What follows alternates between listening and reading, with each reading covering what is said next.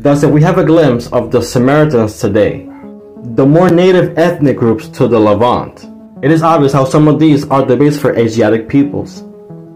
Another example, an Asiatic group in Asia claimed to be of the tribes of Israel and not at all Han Chinese, or native to those regions. When I saw this, it reminded me of the Native Americans, the peoples that arose from Sinai, the Sin or the Chin, were known as the sleepy ones or sleeping ones.